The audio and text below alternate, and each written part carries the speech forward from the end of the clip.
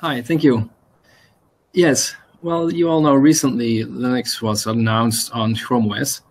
So we actually we are working on Chrome OS for several years now with our company, and really only Chrome OS devices. We really really like it, and we did a lot of development on it as well. Um, but usually we're using IDEs on the web, C9, sometimes some, um, and it worked pretty well for us. Actually, the Google Apps Script environment was always on the web, so and we did a lot of work there too. But for a few weeks ago, there was this uh, Linux environment, and we we tried it out. And actually, it's pretty nice to do uh, local development on Chrome OS, and it works even better than I thought.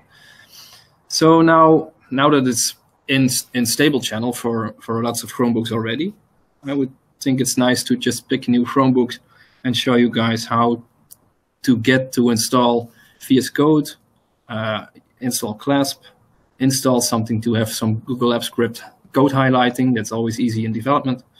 And just install Linux and see the whole process and how I think I also want to mention how well it's made on Chrome OS. It's just, it feels polished and I, I really like it. So I have this Chromebook. It's just simple Acer. But it's, it's pretty new. It's nothing on there, so I hope everything goes as planned. Um, so you can follow the screen. It's it's on full screen now, isn't it? Yep. Okay.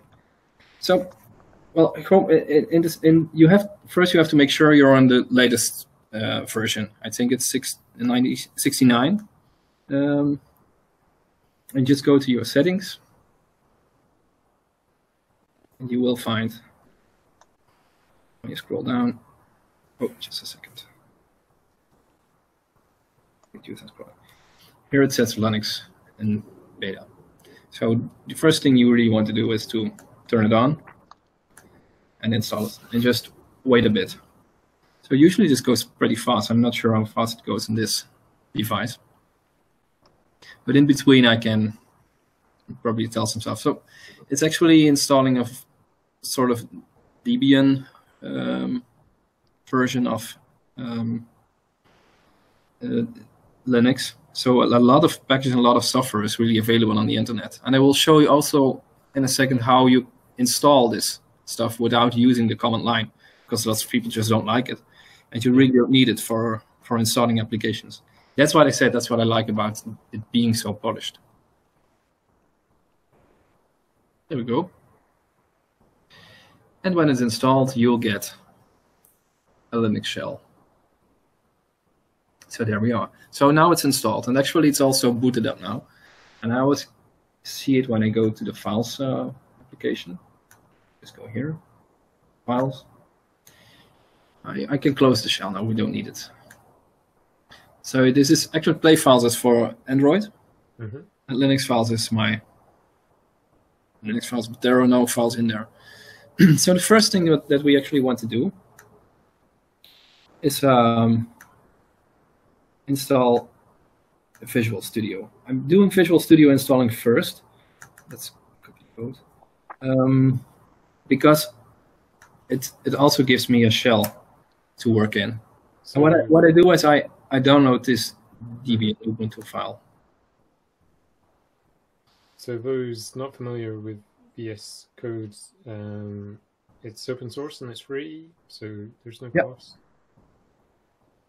think it's generally generally people like it, as far as I know. It seems to be the editor of choice right now, as far as I've yeah. picked up off the wire. So the file is here in downloads.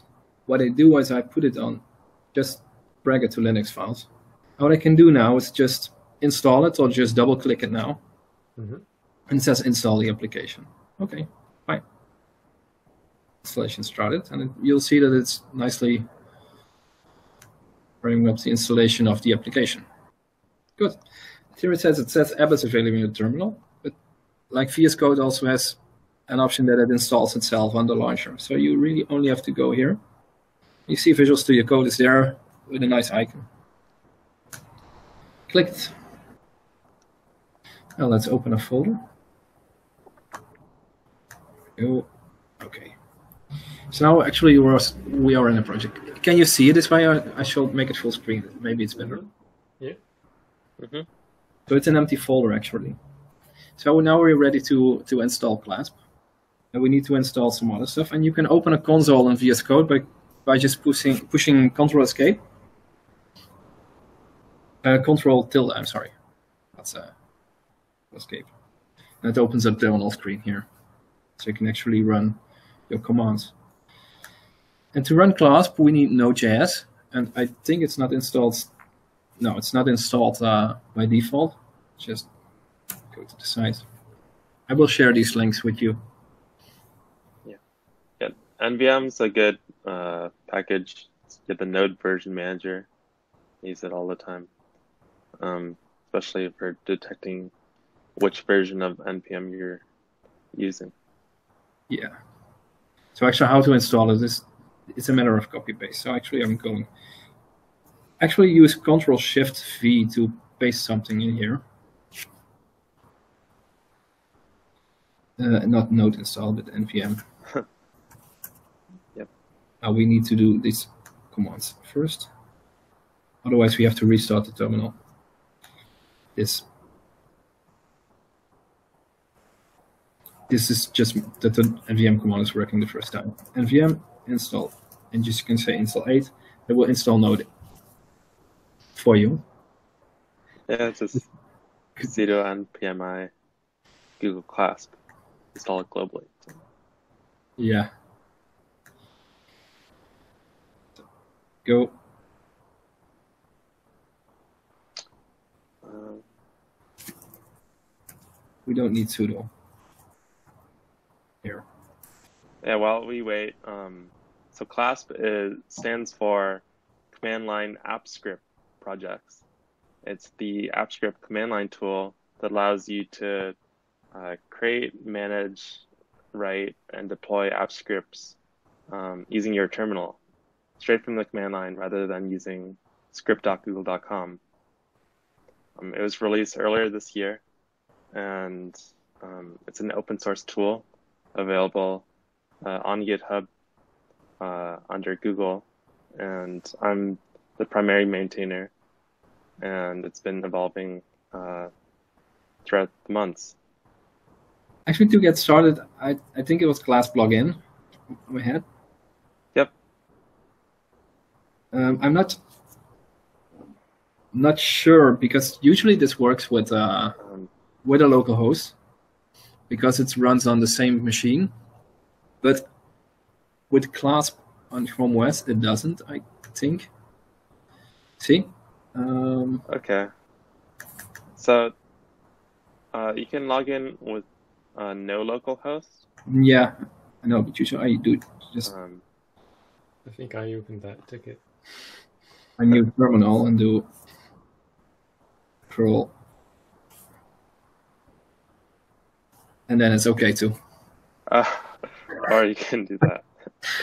Actually, so I'm, I'm going to this, and Clasp just knows that I'm logged in now on the other terminal. So, but it, you can use no local host. But it's it's strange that it, that it's not working on Chrome OS because uh, other like G Cloud and stuff like that, you can authenticate this way as well. I think it's the port number or something like that.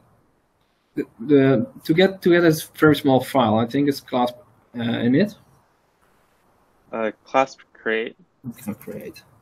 Yeah. Because the last thing I just want want to show you is to to show how you can get this app script autocomplete into VS Code. And after that, I think it's best that you just take over with your version, and everyone has seen how to install Clasp. So we give the script a Yeah. title, my script. Uh, So to use Clasp, you should enable the AppScript API, and it's in script.google.com. And your it is actually says instellingen in Dutch, but it's settings. This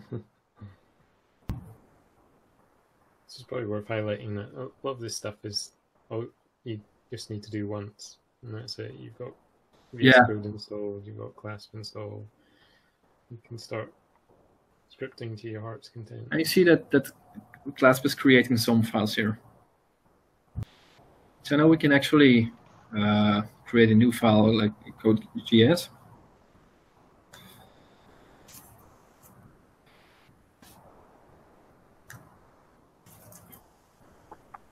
you actually see that now it's not it's not showing anything like you are used to on the on the AppScript interface. So you need to download the definitions for Google Apps Script. You can find them on npm. There's a package for that. Just you actually get pretty quickly used to using npm to install stuff. If you were never done that before.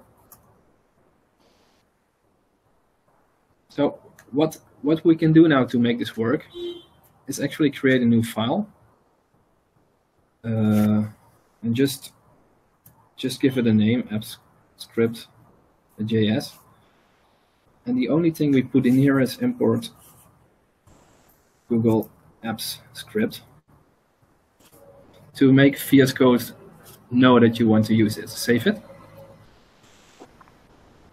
And now, if you use Drive app,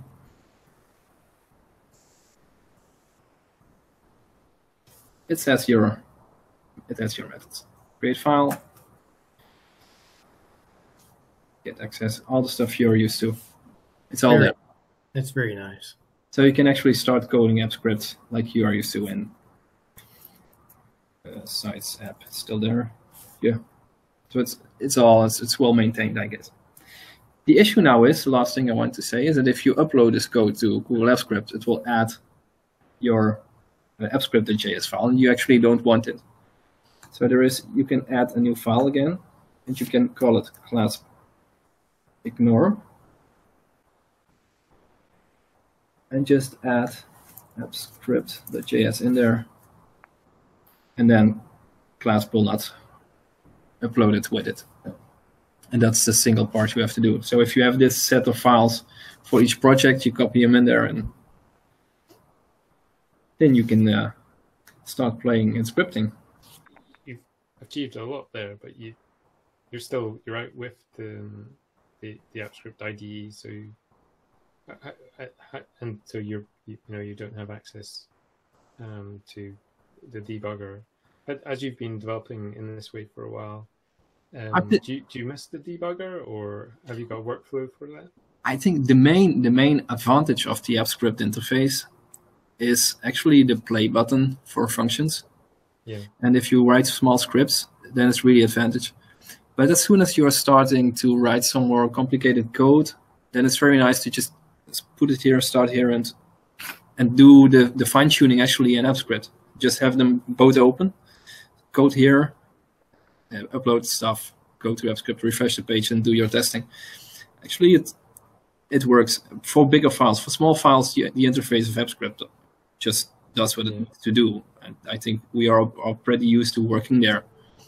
But it definitely brings some some new possibilities now and creating more extensive scripts and especially if you're building some uh, client-side stuff as well, of course.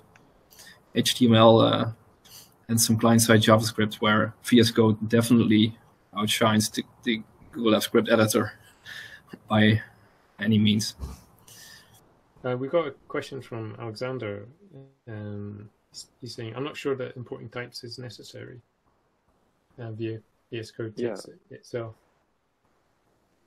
So, uh, yeah, I, I might chime in. Um, I don't think that you need to import the types, or maybe you need to import them once on the beginning of your file. But I think the editor should, uh, once you do that, it loads the types, and it should automatically autocomplete.